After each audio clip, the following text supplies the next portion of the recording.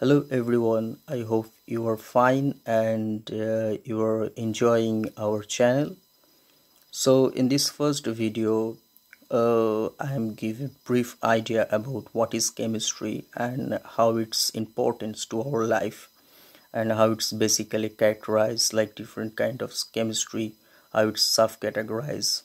So basically chemistry is nothing but the part of science where you can learn about the the structure and property relationship, how the material is reactive to each another, uh, the different kind of elements, uh, how its structural property works with different environment.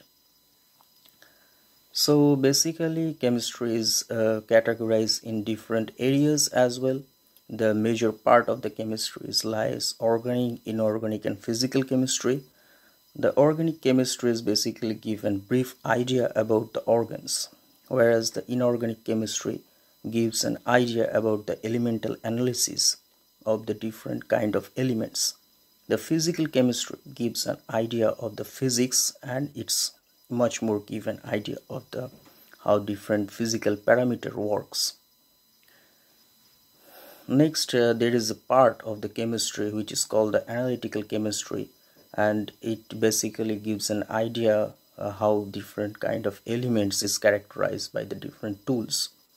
And another part of the chemistry is basically organic uh, bioorganic chemistry or sometimes people are called the biochemistry which basically gives an idea how different kind of reaction is going inside our body or different uh, organic reactions.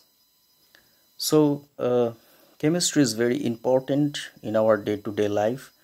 Uh, if you are woke up early in the morning you are taking the fresh breath and inside your body there is a lot of chemical reaction is happening.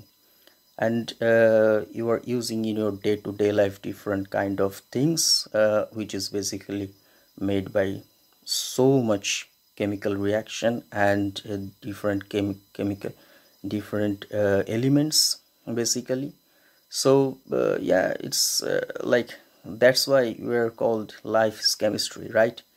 So enjoy our channel. I hope that you will like and then learn a lot of chemistry. Next. Bye